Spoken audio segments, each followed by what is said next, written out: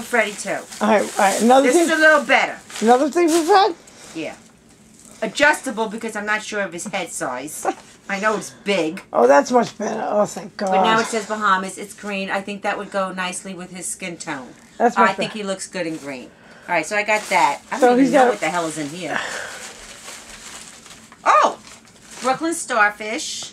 Do you see that? Yes, it's beautiful. Okay.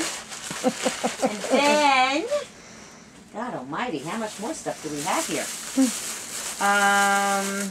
Oh boy, some of my free things. I think. Wait a minute. Wait. All right. After this, I gotta I gotta shut it off and we'll make a new video.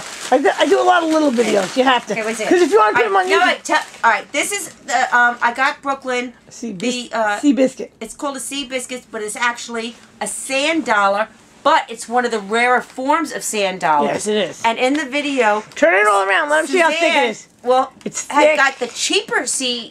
Uh, uh, what do you call those things? Sand dollar. dollars. See how and thick she got it is? one of them. Yeah, I got this in case it breaks. Because that's all my kids wanted.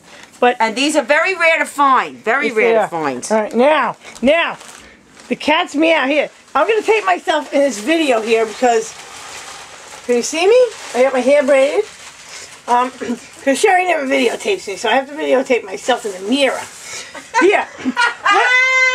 I'm gonna show you the stinky conch shell. No, come here. I, No, I they're sitting, no, you. they're sitting in the in the in the shower. The stinky fly-ridden conch shells that we got. here, let me videotape Wait, you. Hold on, ladies and gentlemen.